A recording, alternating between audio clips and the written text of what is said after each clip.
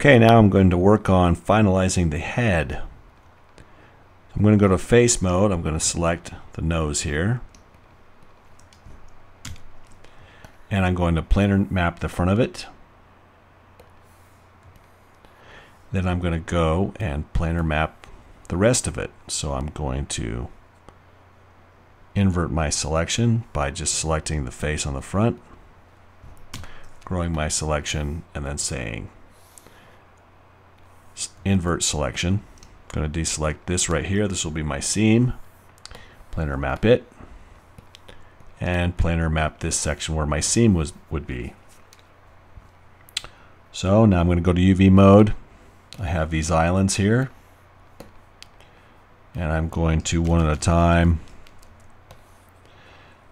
select and scale these.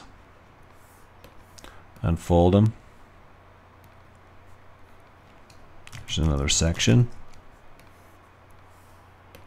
Unfold. This last part, going to unfold. Now what I'm going to do is just start to reconnect.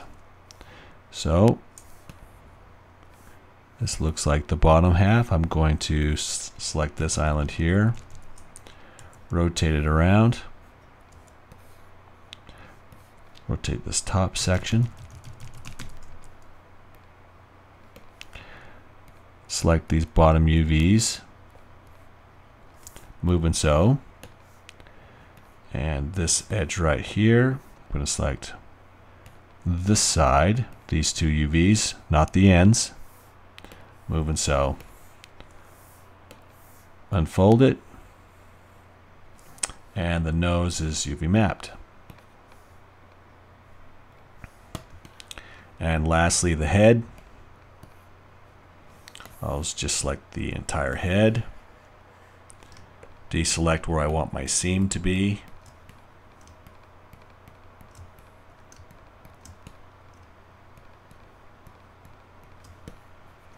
We'll planar map this selection.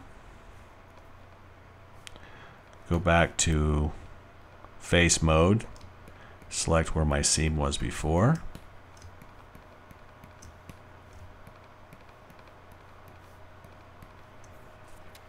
I'm actually going to planar map these separately.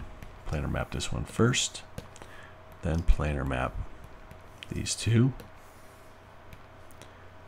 And I will go to UV mode now. Select these islands.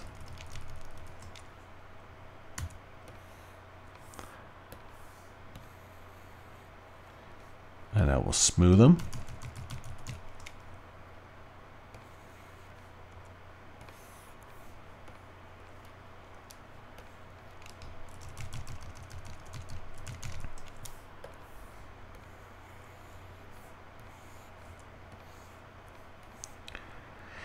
And I will scale these so that they are approximately the same height.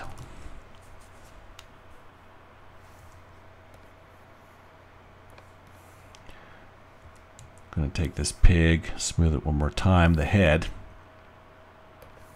Going to relax it, unfold it. Relax it a little more and unfold it.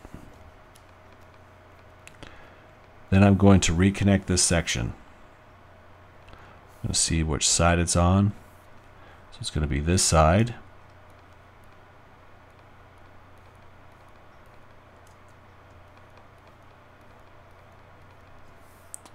And I'll move and sew. Move and sew. And this last part,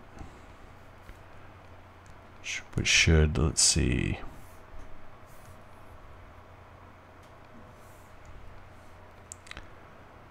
Um, I'm going to undo. I'm moving so too many parts. So I'm going to move and sew that. Now, I didn't want this part to move and sew, so I'm going to show you another trick. I'm going to select these two UVs, and I'm going to separate these. And I'm going to move and sew all these UVs to this top section. Right there is where I want it. I'm going to unfold relax it, rotate it a little bit, and unfold again.